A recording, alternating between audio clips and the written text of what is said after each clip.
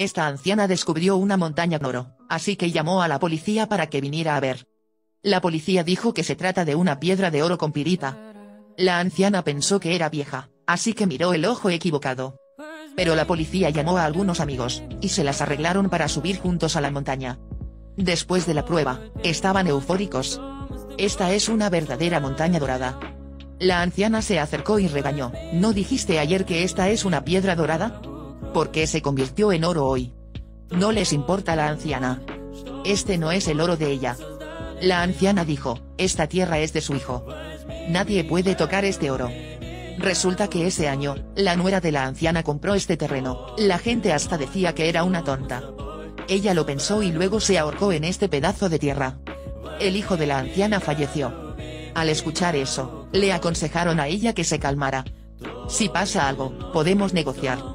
En ese momento, Jono tocó el interruptor del detector, emitiendo un sonido estridente. Él se dio la vuelta, haciendo que la anciana se cayera de la montaña. En ese momento, Kisum vio esta escena. La anciana no murió de inmediato. Pero para poder extraer ese oro, Don Keun apretó el cuello de la anciana. En el bosque llegó el sonido de una nieta llamando a su abuela, y se detuvieron. Kisum corrió montaña abajo para salvar a su sobrina, pero aún así fue descubierto por ellos. Lo obligaron a entregar el teléfono, al ver que él había llamado a la policía, era Son. Así que confiscaron su teléfono y exigieron su arma. La niña quería recoger el collar, los dos lados lucharon. Desafortunadamente, el arma fue disparada, matando a un tipo malo. Durante el caos, él y la niña se escaparon. Él escribió una carta a la policía Son. Él le dijo que bajara de la montaña para encontrar a Son. Y los atrajo para que lo siguieran. Pero al final todavía fue arrestado. El collar cayó en manos del malvado policía. Jo no lo tocó, vio que aún tenía algo que decir, bajó la oreja para escuchar. Kisung agarró una piedra y lo dejó inconsciente.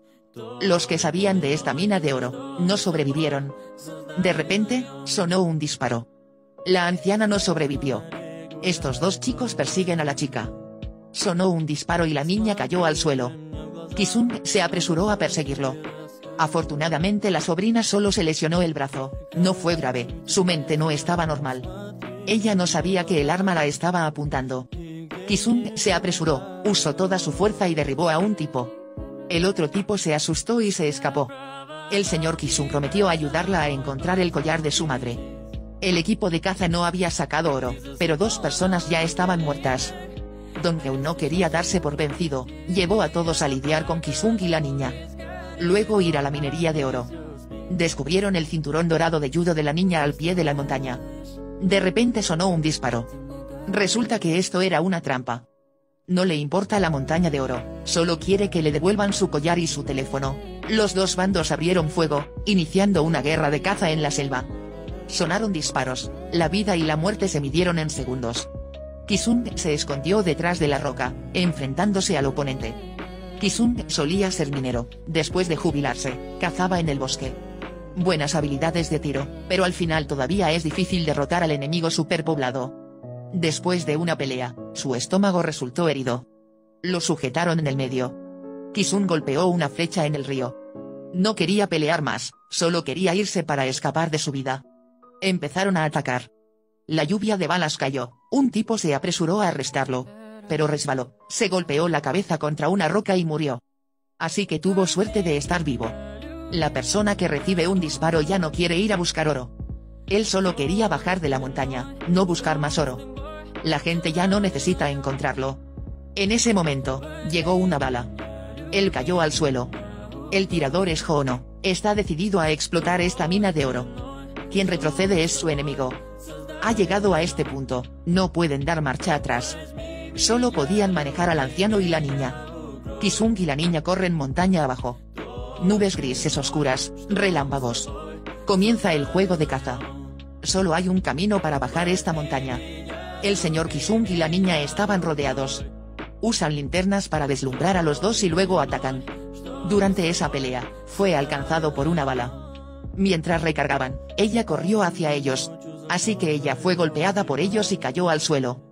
El señor Kisung vio que, extremadamente enojado, lo empujó al suelo, atacando furiosamente. Hono disparó un arma, pidiéndolo. Así, Kisung soltó su mano y corrió hacia Hono. Kisung se apoyó en él, apretó su cuello y no lo soltó. Kisung lo mordió como un animal salvaje. Donggeun rápidamente abrió fuego, Kisung lo soltó. Hoono le gritó a Donggeun, apúrate y dispara, simplemente lo asustó hasta la muerte. Inesperadamente, Donggeun disparó y mató a Hoono. Quiere monopolizar esta mina de oro. El otro tipo estaba a punto de dispararle al señor Kisung. La niña de repente salió corriendo. De un solo golpe, cayó al suelo. Otra patada tiró a Dongkeun al suelo. Aprendió taekwondo, así que fue sencillo para ella. El señor Kisung y la niña solo podían esconderse en las minas. Hace muchos años, cuando llevó a sus amigos a cavar una mina, hubo un incidente. Todo el equipo fue enterrado vivo, solo el señor Kisung sobrevivió. Sintió que todo era su culpa. Si no fuera por él, no habrían muerto. La niña lloró y le dijo que acababa de ver el espíritu de su padre. Padre dice, esto no es su culpa. El señor Kisung escuchó esto y también dejó de lado su culpa. 15 años desde ese incidente, nunca ha salido de esta ciudad. Él siempre estuvo en esta montaña, para hacer expiación. Polison recibió contacto del señor Kisung, envió gente a la montaña para buscar e investigar. Encontraron los cuerpos de los malos, la montaña dorada y la anciana enterrada debajo del árbol. En medio de la noche, el señor Kisung escuchó un grito de ayuda. Fue golpeado por el esquema de Dongheon, apuntó con un arma a su espalda. Si él no se hubiera enterado de esto, no habrían hecho un gran problema. Después de una feroz pelea a puñetazos, el señor Kisung cayó al suelo, Dongheon no disparó. Quiere hacer que Kisung viva peor que la muerte. Golpeó y pateó para descargar la ira en su corazón. Recogió a Kisung y lo tiró. Pero no se desanimó, volvió a tomar un arma, y con dificultad se levantó, pero él todavía recibió un disparo de Dongheun y cayó por la montaña. El equipo de buscadores de oro todavía tenía dos sobrevivientes, pasó una noche, bebieron del río. Una persona recibió un impacto de bala y cayó al suelo. Dongheun saltó al lago, se enojó con el señor Kisung. ¿Cómo sobrevivió Kisung? La persona que fue alcanzada por la bala fue arrojada al lago, Kisung se escondió detrás. Él subió lentamente a la superficie. Kisung le disparó una vez, hurgó en él para encontrar el collar. Una vez le prometió que encontraría el collar de su madre para ella. Volvió sigilosamente a la puerta de la cueva. Los subordinados están todos muertos, el capitán de policía tiene que hacerlo él mismo. De repente apareció, derribando al señor Kisung. Descubrió a la chica en la cueva, él estaba a punto de disparar cuando Kisung apuñaló el cuchillo en la pierna. Porque para protegerla, Kisung abrazó la pierna de él. Lo venció, aún así, pero Kisung no se dio por vencido. Él solo puede disparar. La niña vio esa escena y salió corriendo de la cueva. Esta vez ya no pudo protegerla. En ese momento, sonó un disparo, la policía de Son persiguió aquí. Son maneja el nombre del capitán. La niña finalmente se salvó. Corrió hacia el señor Kisung, ahogándose en lágrimas. Pero ella no sabía que él era su abuelo biológico. ¿Por qué es eso? Porque ese año, su hijo estaba saliendo con una chica. Objetó con vehemencia. Más tarde, la niña se casó con uno de sus subordinados, y pronto dio a luz a una niña. De hecho, esa pequeña niña también es su sobrina biológica.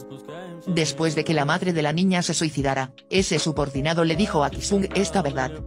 Esta película se llama La caza. La naturaleza humana ha estado expuesta a la fascinación del dinero. El policía quería monopolizar la montaña de oro, así que mató a la anciana. En cuanto a Kisung, como quería expiar sus pecados, usó su vida para luchar contra el mal. La batalla entre el bien y el mal nunca termina. Solo cuando mantengas un corazón honesto recibirás un buen futuro.